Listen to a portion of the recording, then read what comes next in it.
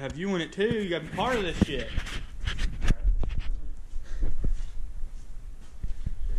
Yeah, straight face. Straight face. What's up, guys? Welcome to the channel. Today we're working on Matt's S10.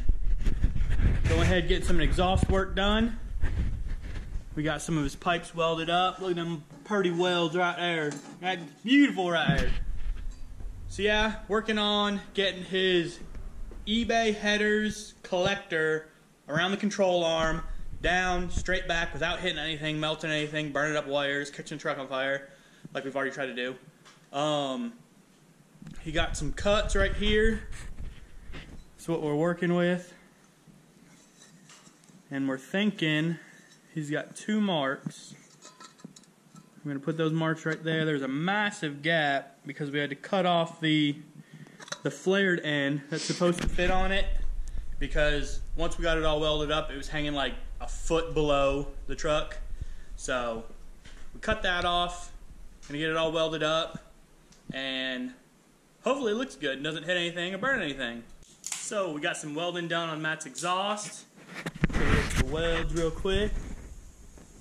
Not the pretty, well that's Matt right there. Not the prettiest welds, but they'll stay. They'll stick. They'll hold. No gaps. Got his collector. I'm gonna try to throw up. We got driver's side completely done, collector and everything. Passenger side, we still gotta weld the collector on the other side. We'll get it all up there, get it mounted, get it strapped in, and then we'll do a little fire up, show you guys how it sounds. Hopefully the audio picks up pretty decent. Highly doubt it will, but we're gonna finish this up and we'll show you when we're done.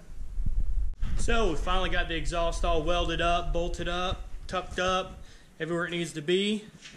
Matt's putting on the battery right now, getting that all tightened up. Now we're gonna give her a good fire and see what she sounds like.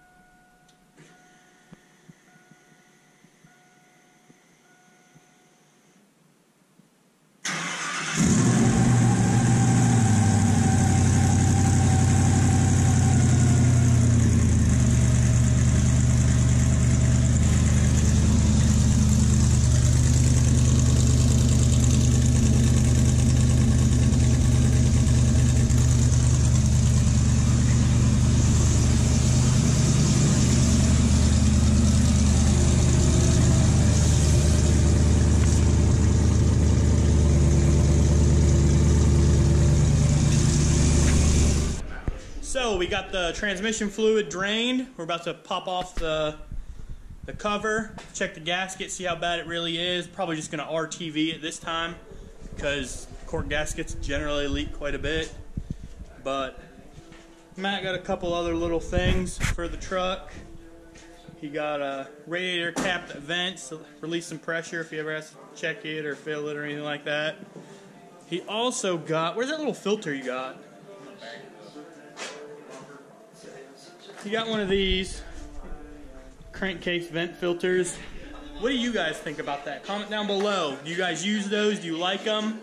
Do you rather just use a catch can or let it recirc back into the intake like it's supposed to?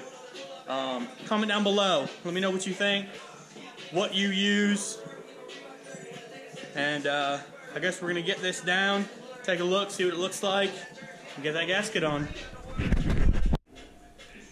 So we got the pan off, and it looks like fluid was leaking from the bolt holes. We're thinking they probably over tightened it. We got it dropped out. Got it all off. And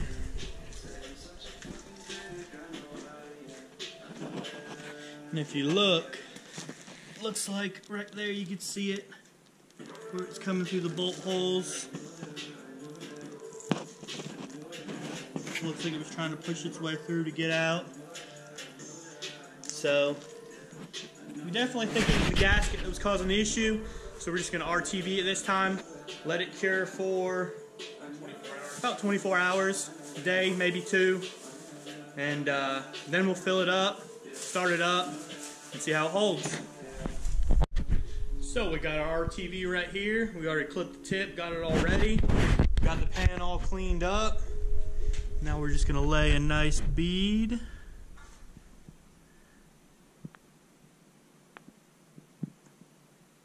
Get some of that forearm strength.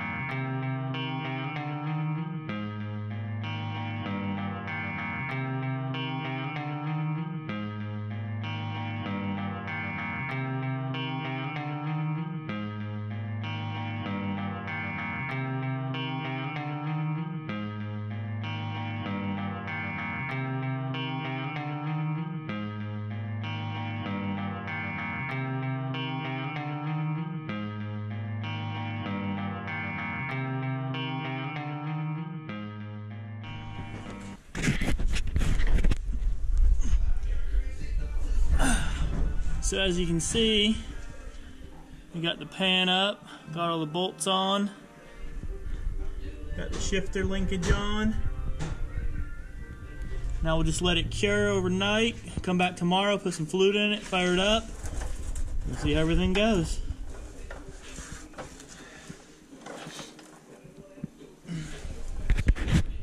So we got the transmission fluid in, checked all the levels, we got a dirty screen, off. It's probably all hazy now. Just a good old lick and get that thing cleaned off. So yeah, we got the transmission fluid in, we got everything tightened up, ran it for a little bit, found a leak in a couple of lines, tighten those up, let it idle for a little bit longer, circulate. Uh, no more leaks, everything should be good. We're gonna go take a test drive and go get some gas real quick. So we made it to the gas station. Everything seems like it's going good. Uh, still set on auto tune, just as a as a precaution so he's not running anything wrong for too long. It should adjust automatically.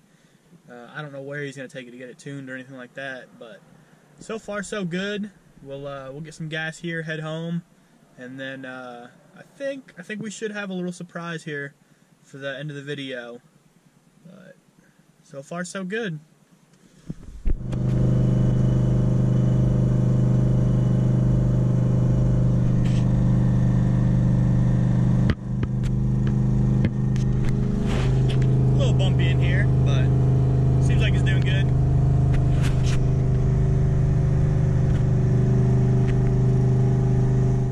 We made it back home. Everything looks good at the truck. Oil pressure is running a little bit low. He thinks he's got some fuel because it was running really rich when he first got it all together. But uh, I think we're going to end it off here.